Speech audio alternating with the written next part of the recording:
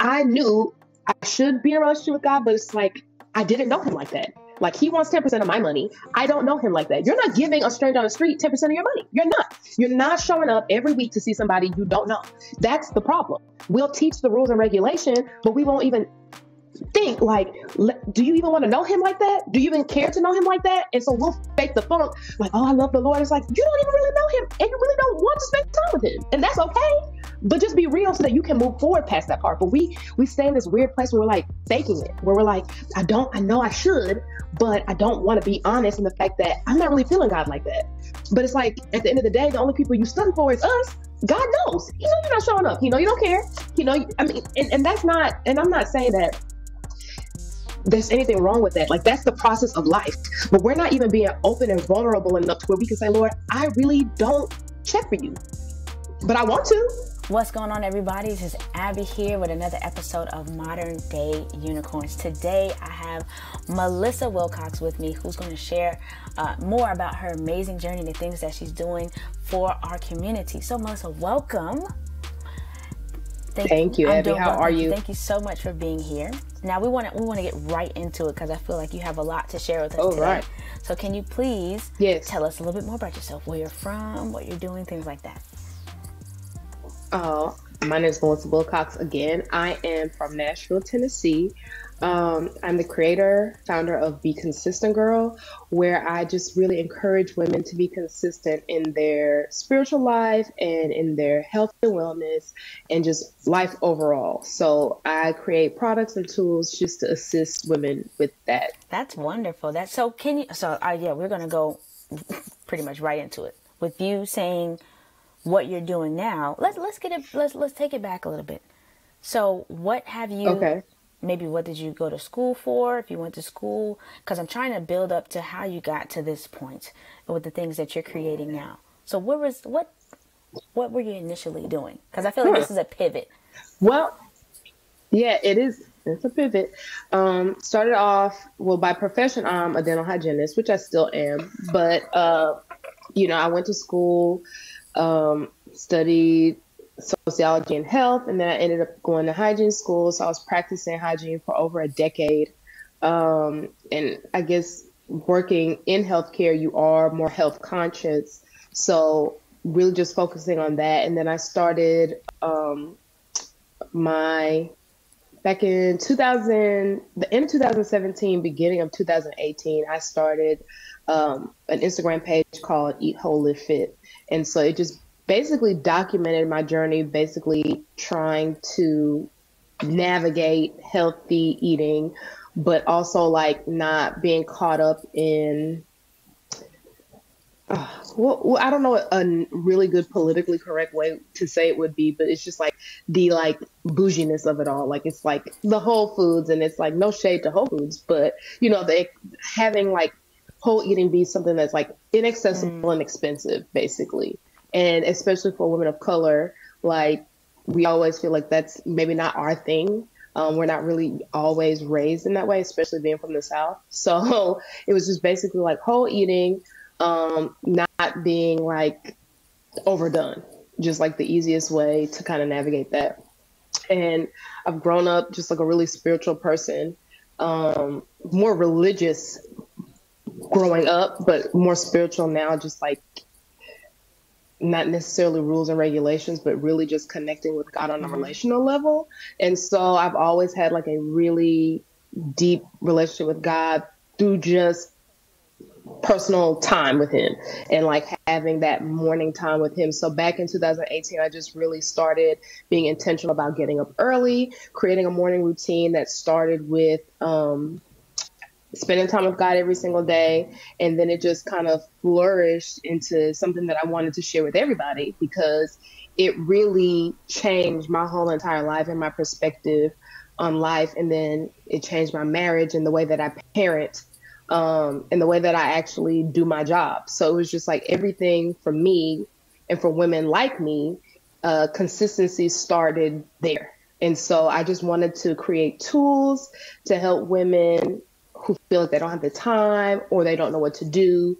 Any of that, I wanted to kind of alleviate that pain point and just encourage them just to make the time and then everything else mm. will flow from that. So this is like the really long extended version of like, girl, what do you do?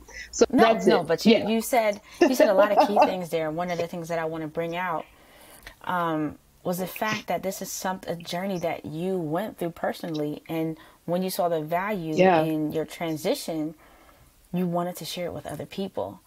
Um, and in that Absolutely. sharing, you know, you, you're having, re, you're, you created resources that, that will help, but being able to make a business out of that. And I really wanted to, to make that a key because I feel like a lot of people think that the, the only the things that we have to do are the things we went to school for you know, we were really pushed into, you know, go get a good education and, you know, or that little hobby that you got won't make you any money. But, you know, and it's not that, it, you know, right. what you're doing is, is solely for the purpose of money. Thankfully, you know, I've, I'm, i pray that you have the opportunity right. to do so, but it can be just something that you're just interested in or something that helped you along the way. Right. Right. It, um, it really has been interesting to see the transition from feeling like, you know, I'm I'm like that type A, like go to school, do this, do that. Like I was like on the path, like I'm gonna do this. This is a sure way. I'm gonna have a career, and I'm gonna go down this path, and I'm just gonna stay on it. And it's just interesting how God would lead you on a different path that is not as sure, but it does have to have more mm-hmm. faith in order to do it. And so uh, yeah, if you would have told me I'd have been doing that, I would only want to be doing this, I would have been like, you're a liar because I'm going to take the sure way all the time. Oh, wow. Every time. So are you working yeah. on making this oh, uh, yeah. full time situation? Is that the goal at the moment? Yeah, that is the goal at the moment. Um, but you know, what I realized is ever since I started this, I was like, oh yeah, God, you gave me this vision. Oh, this is what I'm doing for this is it. Like I'll quit my job today. Like we could just do this. And he was like, uh, that's not what's happening here.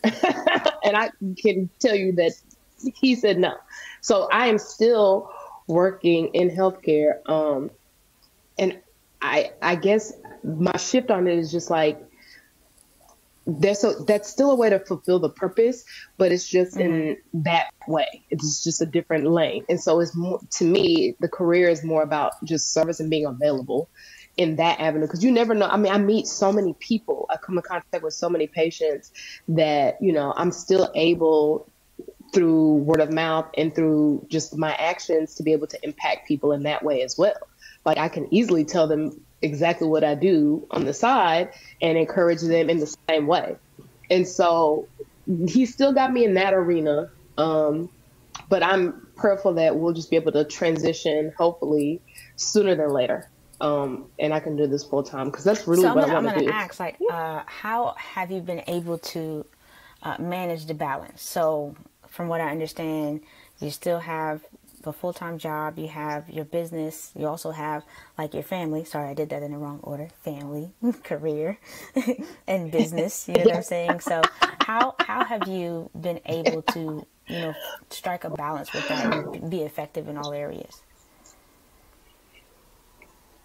Well, now before it was I was working closer to full time. It was four days a week. I'm down to three days a week now. So I do have more time on Thursdays and Fridays um, to work on the business. But before then, it was it, that was another reason. It was like me getting up early to spend time God was one part of it, but it was also like taking the extra time that I had. Like, okay, maybe I only have 10 minutes or 30 minutes to like work on something, but it was like in faith, just like if I just show up if I can just give the 10 minutes now, you know, it can turn into something. You'll be amazed what you can do. I can edit a video.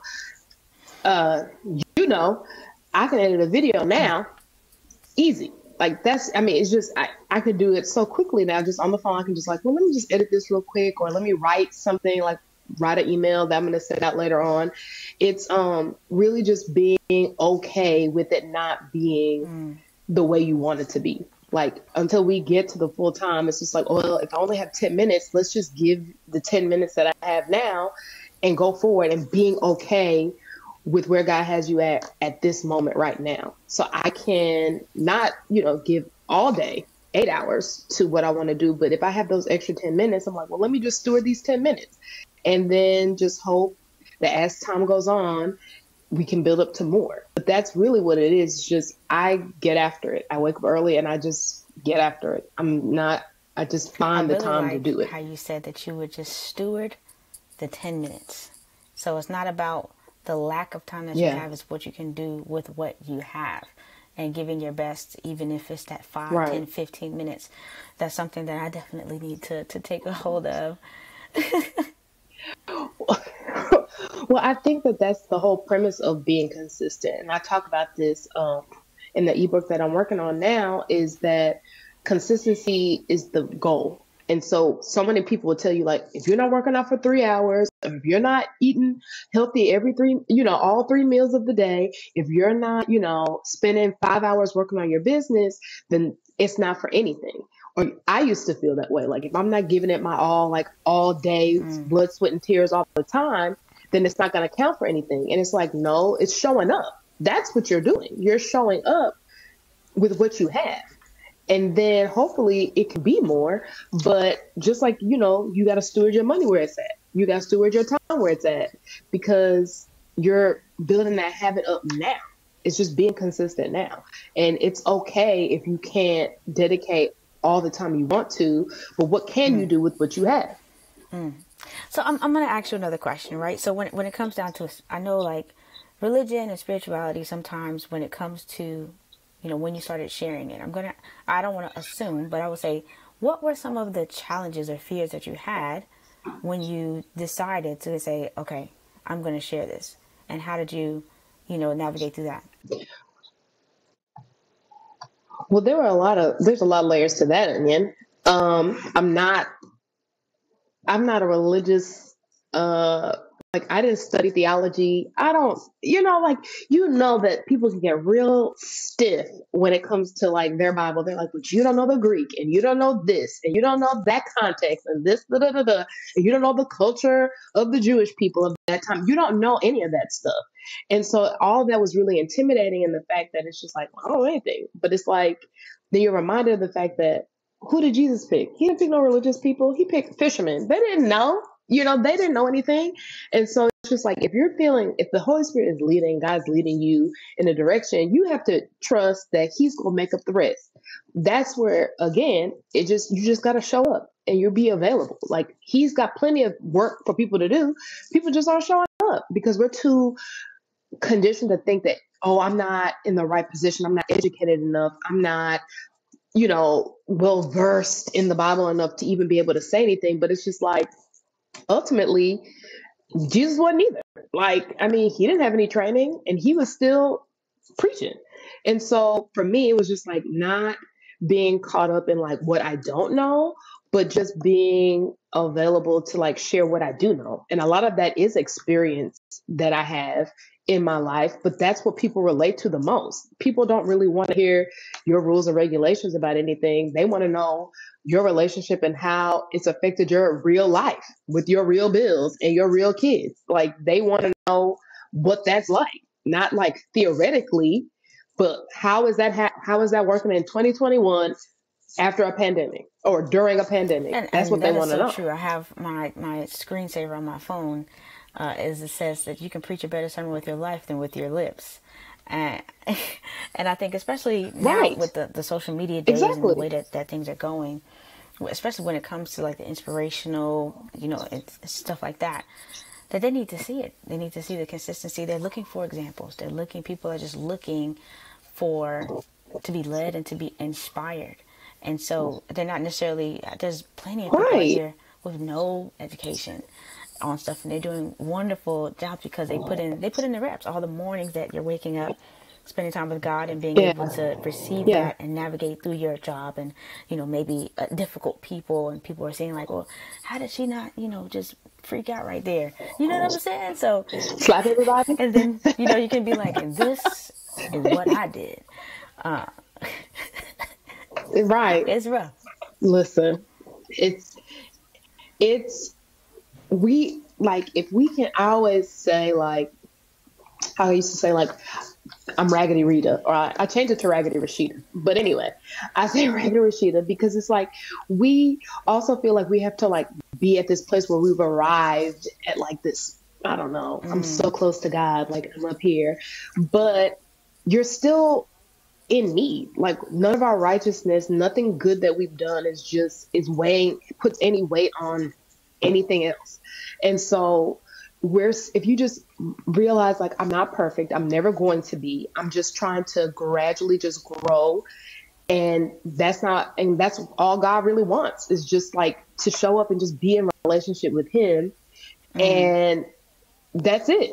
Like we make it so hard and a lot I mean, I feel like I've been ruled to death and I feel like a lot of women, you know, who might have been raised religious or like in the church, you're ruled to death. You're told what you're not supposed to do, where you're not supposed to go, what you're not supposed to eat, what you're not supposed to drink, what you're not supposed to wear, you know, and you've been ruled to death by somebody you don't even know. The rules themselves. And it's like, well, how? Why would I listen? Right, right, right. But then also the the the ultimate person or God is telling you like God has this long list of stuff that you're not supposed to do, but you're not. They're not even telling you to be in a relationship with Him. They're just telling you mm. He's telling you not to do all this stuff. And so you're like, but I don't know Him like that either. And so I, I don't know you, and I don't know Him like that. And so it's really where what really wanted started me to start my first devotional was just like being really vulnerable in the fact that I knew I should be in a relationship with God, but it's like I didn't know him like that. Like he wants 10% of my money. I don't know him like that. You're not giving a stranger on the street 10% of your money. You're not. You're not showing up every mm. week to see somebody you mm. don't know. That's the problem. We'll teach the rules and regulation, but we won't even think like, do you even want to know him like that? Do you even care to know him like that? And so we'll fake the funk, like, oh, I love the Lord. It's like, you don't even really know him and you really don't want to spend time with him. And that's okay but just be real so that you can move forward past that part. But we we stay in this weird place where we're like faking it, where we're like, I don't, I know I should, but I don't want to be honest in the fact that I'm not really feeling God like that. But it's like at the end of the day, the only people you studying for is us. God knows. He know you're not showing up. He know you don't care. He know. I mean, and and that's not. And I'm not saying that there's anything wrong with that. Like that's the process of life. But we're not even being open and vulnerable enough to where we can say, Lord, I really don't check for you. But I want to. But we feel like we have to be like at this certain level and we're not. And it's okay. And so that's why I say for women like us, you need to see, seek him every single day for yourself because that is the only way that we can really achieve everything that we want in this life and life after. Like we can have peace, we can have joy, we can have all of that now. And that doesn't come from being ruled to death. That comes from just being in love with somebody you know has your back no matter what, who's going to fight for you no matter what, who will die for you and is going to fight for you. So it's just like being being in that and sitting in that for yourself, that's what we need. Mm. You know, we need that so that's that's that's why I always I'm like just like girl take the time because we're so bogged down like that that pandemic really took a number did a number on so many people. And it's like how are we saying we're in a faith and we're like on the brink? And it's just like we've got to be leaning on something strong bigger than us especially black women. Mm. we've got to be leaning on something bigger than us um, because they'll white supremacy you to death that you can't have this and you can't have that. And it's just like, well, I'm in relationship with someone who owns the whole world, so why can't I? And so it's like we put these limits on man-made stuff when it's just like God never told me that. And if He want me to have this business, He gonna do it. And I'm not gonna have to have a loan, and I'm not gonna have to beg, borrow, and steal, or have to claw my way and work my way to death for it. I'm like, I'm, I'm, I'm so, Abby, I'm so far past that now. And that's what I want for us is for us to understand like we don't have to live in these mediocre lives where we're just scraping by, hoping and wishing and, you know, maybe, maybe not. No, I expect God to do major things because we t- we close and he already knows me like that. So I, I don't expect anything less. And you're not gonna white supremacy me to death, and you're not gonna tell me what I can and cannot have, because mm. nobody told told well, you that. Well, well, I'm about to say, no, you good, you, you, good. While I got you hyped, I'm sorry. I'm gonna take I'm gonna take six tips from you today. While I got you hyped, right? I'm gonna go ahead. I, I would like you to share three tips to encourage anybody, women of color, anybody really, on how to kind of make us their steps towards improving their spiritual life. Three tips there, and then I'm gonna ask you for a different three tips after that. For this spiritually, or in, in order to, to get to, to know God better. What are three tips that you would give people okay. that are just initiating that particular conversation? For me, the spiritual life, uh, forget everything everybody taught you and go to the source. And the source is God. That's it. That's my number one thing. Well, it's spending time with him every single day and then forget everything everybody ever taught you and go directly to the source. He will tell you. Like the Bible tells us that the Holy Spirit leads us into all knowing truth. There's not a secret. There's not a secret. I don't know what to tell you. There's not a secret. And then the third thing is just just stick with it the consistency it has you show up and you got to stick with it because it's every day somebody's going to cut you off in traffic. Somebody's going to be going slow. Somebody's going to be slow in the checkout line. They don't know how to use self checkout somebody is going to your child lord have mercy you know your your spouse your partner somebody it's it's always going to be something. The light's gonna go i don't know. Mm. it's gonna be something at it. the flight's gonna be delayed. I don't know but Listen, it's gonna be delayed. The bag might be lost. He must be telling you, you everything to, that just happened to me listen. recently. But okay, but okay. it, it's gonna be, it's gonna be there. But it's just like we have to be sold out on the fact that there's something bigger than this, and everything is gonna try to derail you from what you're supposed to be doing ultimately. And so we can't get caught up in that stuff. And the only way we can be able to just lean in, go through life, and keep the joy and peace that we have, which people, people gonna try to steal it. They're gonna try to steal it. Um, the only way we can keep that is we're centered and we're grounded, and we skip the most important part. And I always say that the most important mm. part of your day is spending time with God. If that's not for Him, He deserves the glory and, and the praise and honor, but it's for us. We need it. We're the ones barely scraping by. I, I'm scrape. I'm crawling to the coffee pot in the morning. I'm crawling to the coffee pot, and it's just like no. So I would. Those are the three things: is show up, um, forget everything you ever knew, and just be consistent in it, and just seek God every single day to get that foundation. Oh, no, I didn't even. I wanted you to have. And then that. what was the second part? I'm sorry. So I'll throw it out now.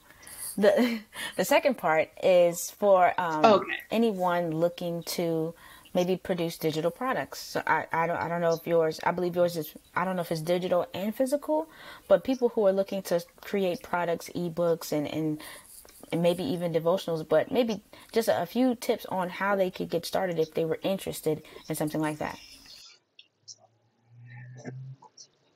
Uh, I'll hmm.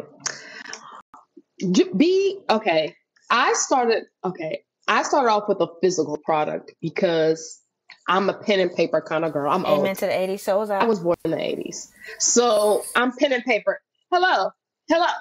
So I am pen and paper down. So I love a good writing utensil.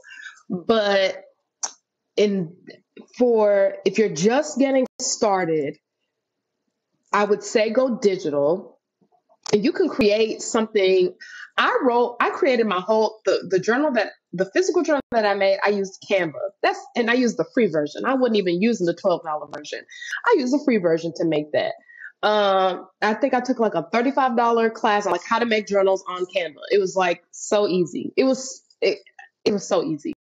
Um, so if you want to make a physical product, yes, but if you don't have the money behind it, because you do, unless you like doing I bought all my journals flat out. No, so that's fine. the only way I know how to do it. I'm sorry. Somebody else has a better way, please tell me.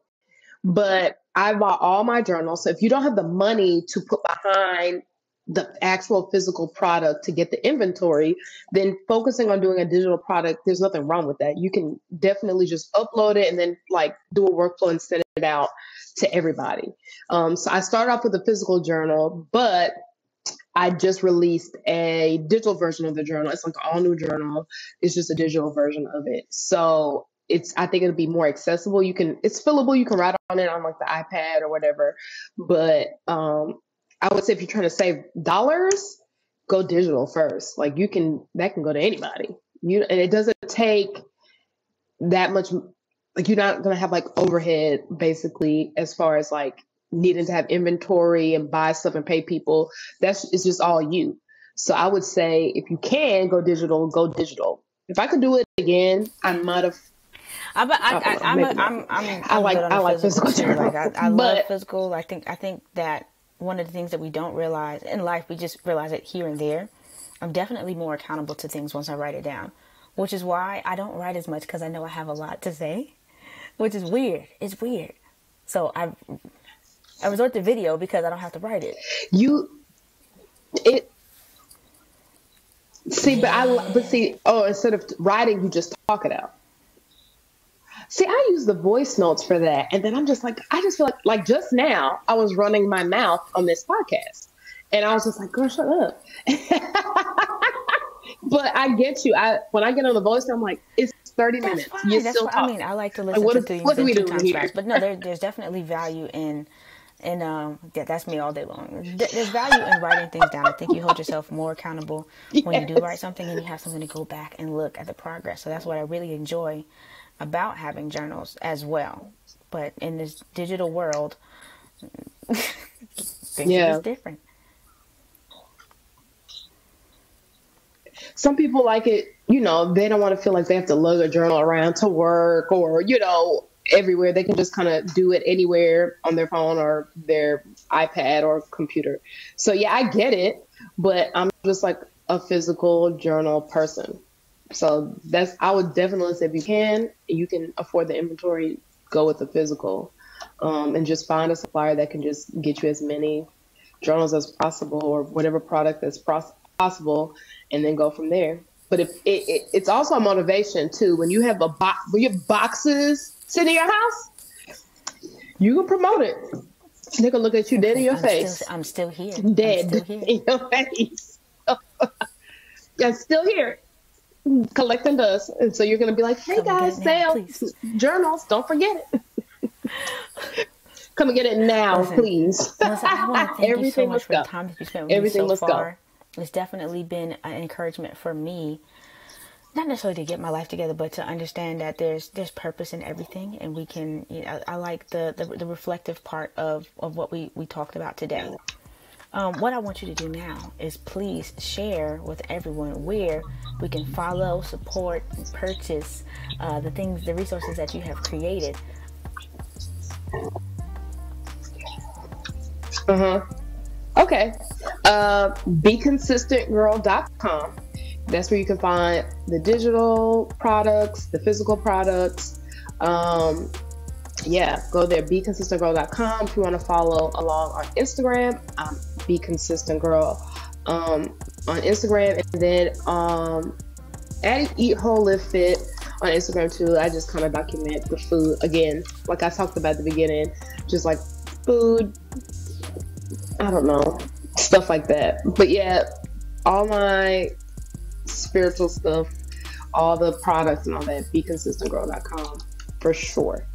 Um, and for your listeners, I have a, I can send them, if you email me, hello at beconsistentgirl.com, I'll just send you the free version, a free copy of the um, digital journal, the digital version of the journal. I'll have that for your listeners. Just email me I'll send it to you. Uh oh, I hope y'all are listening. Yeah, I hope y'all listen. I'll put it. I'll put it in the show notes. We'll see who, please, who's paying attention. If you want to, yeah, please. I'll be more than happy to send it to you.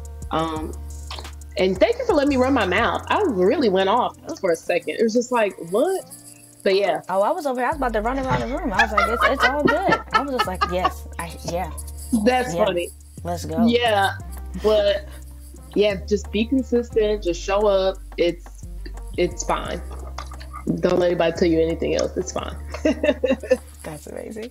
Well, I want to thank everyone for listening to this episode. Please make sure you check the show notes so that you can get your free copy of the digital journal here that Melissa's sharing with us today. And if you are a unicorn yourself or you know anybody else that's a unicorn that I can have a conversation with, please, please go ahead and shoot me a DM or, or make a comment. And we'll see you all next time.